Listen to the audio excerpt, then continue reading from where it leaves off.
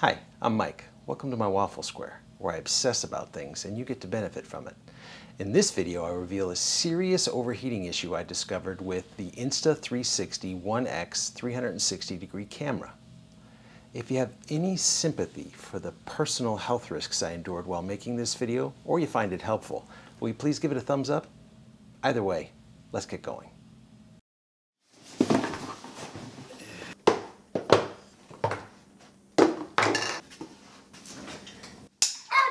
Thanks, buddy. So, this is not an unboxing video. This is actually a video explaining why I am returning for the second time the uh, Insta360 One X. So let me start off by saying I really like this little camera. It's been a lot of fun.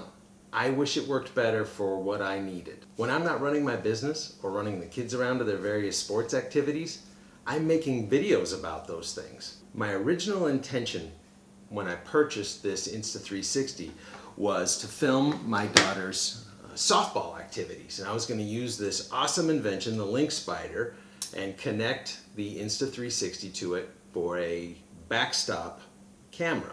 Now this is originally intended for the GoPro, but I thought it would be cool to connect the Insta360 to it to get uh, a 360 degree view of not only the game, but also fan reaction when exciting moments happened. Now at $400, it's a lot more expensive than the GoPro Hero 7 or the Osmo Action, but I thought we could do a lot more fun things with it. I also thought it would be fun to make time lapses with it when I was on the job site. And it's also made appearances in my um, House on the Mend YouTube channel videos as the Wand Cam. So with all that being said, why am I returning it? Well, I am convinced that there is a serious overheating issue with the Insta360 One X camera. I first became aware of this when we went to Denver for my daughter's softball tournament. I set it up with the LynkSpyder and did some video tests and I had pretty mediocre results with it trying to get it into a position where you couldn't see the chain link fence around it. In fact, when I shot the original videos, I had it uh, straight up and down like this and had to zoom in after the fact to try to get those um, pieces of chain link fence out of the screenshot.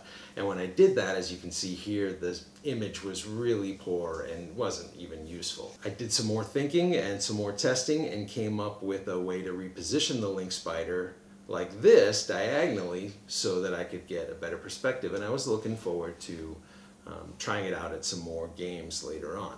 The next day when we weren't actually playing any games, we went whitewater rafting. And there we shot this awesome video. The Insta360 One X has this accessory, the dive case, that you can open up, slide the camera in because it itself is in no means weatherproof. And so I really like that video except for the fact that you can constantly see uh, the bottom area of this dive case and you're forever doing little edits and moving the camera around to try to minimize the amount of the dive case that you see. But When I was editing that video, I kept noticing that I had to put in all these pivot points to keep the camera back on track where I wanted it. Otherwise, it just seemed to be wandering off uh, in one direction or the other. I didn't think much about it other than I thought it was a pretty arduous task and didn't really enjoy editing the video. It wasn't until we got back home and I started taking this on jobs with me that I started noticing the serious problem. Now the first issue came when I was assembling a barbecue grill. It was hot outside, but we were in the shade. This camera was never in direct sunlight. And as I went back and started editing the footage, I noticed that the camera was drifting off. But on this time, instead of it being a normal video, it was time-lapse, so it was very pronounced. So I ran it until the battery went dead and got about 34 seconds of footage at a 5 second uh, time-lapse setting. So when I first looked at this video, I thought, well, perhaps when the battery started getting low, it couldn't properly operate the gyro inside. And I decided on the next job that I would hook up a um, external battery power pack to the unit and make sure it had a proper amount of power throughout the entire video. The next job I had was for a garage door opener install. And as you can see here, even with it hooked up to power, it took no time at all to start spinning. Oh, oh my goodness. I'm not sure how long I'm gonna be able to go on with this video. it's making me nauseous. so I knew it wasn't a power issue, and at that moment I decided to uh, test the camera out again when it was in my air-conditioned car doing a simple driving time lapse. And it was no different. As you can see here, it just started to spin and spin again.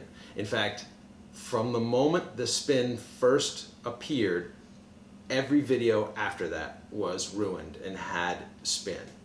And in the time-lapse videos, you can't even connect a little point and, and have it stand still. It just keeps wanting to spin. If you do regular video, you can constantly put in pivot points like every couple frames and it'll sort of stay put, but it's really not usable anymore. So I contacted their tech support right off of the app. You hit the little uh, service button up at the top corner. And I started chatting with a very nice lady. I think they were on um, Asian time zone, like China or something, because all the responses were like 2 o'clock in the morning from them. But nonetheless, they were very responsive. They first wanted to make sure that I had calibrated the uh, gyro, and I already had done that uh, before I even contacted them. I went through all the settings and did a quick little calibration, and that didn't change anything.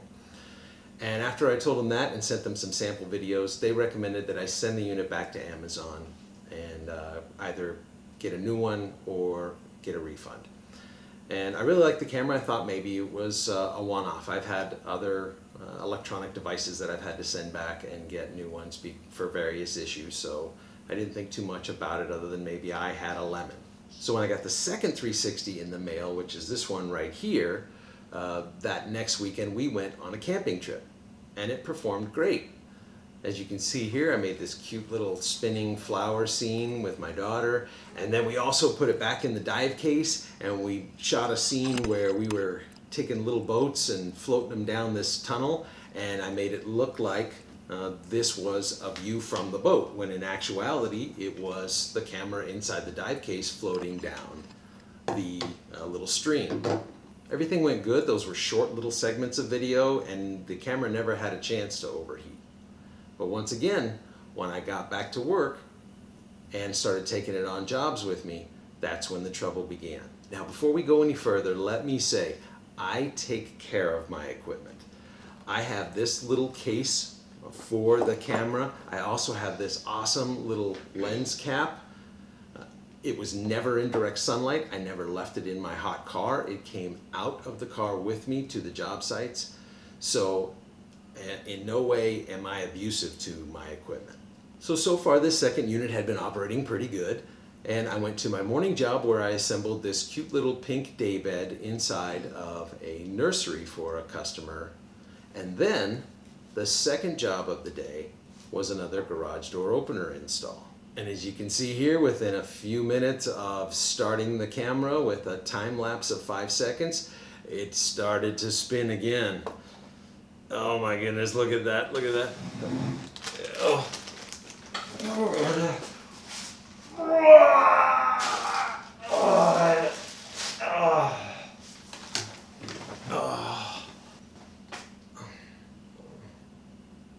Thanks, buddy. Rick could vomit in middle age. Excuse me. So once again, I contacted tech support. So the second time around when I told them I was again having this issue, they responded, sorry for the inconvenience caused to you. We have feedback this problem to our R&D team for analysis. It is found to be caused by the continuous shooting or the high environment temperature which made the camera to heat up, thus affects the recording of gyroscope data. To fix this video, please disable the flow state in your studio or app before you export the footage. So I thought that was a pretty good tip. I went into the app, I turned off uh, flow state, and sure enough, when I reviewed the video in the app, it stopped spinning. But when I exported it to photos so it could actually be in a recognizable format, the spin was there just like before. Now, of course, I couldn't just live with my assumptions that it was overheated. I had to do some testing.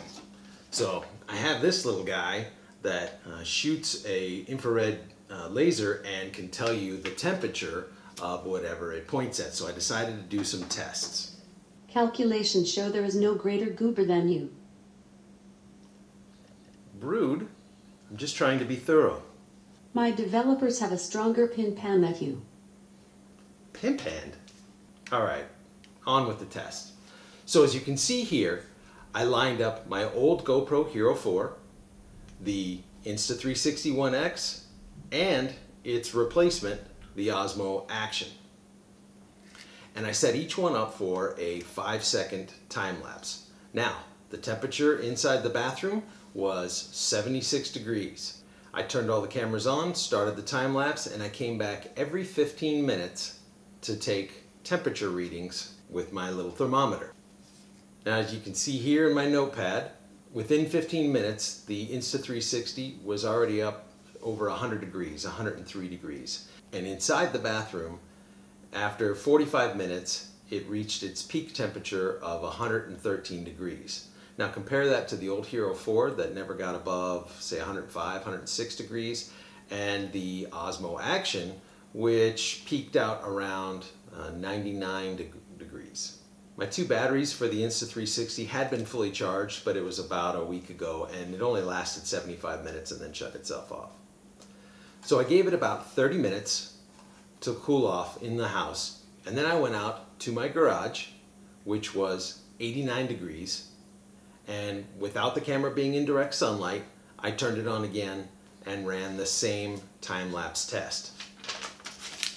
This time at 75 minutes, the temperature on the camera went all the way up to 133 degrees. It was seriously hot to the touch. And so since similar cameras in similar situations were not having the same effect, and the fact that Insta360's tech support told me that the uh, long filming or ambient temperature is causing the issue, I'm convinced there is a serious overheating problem with this camera.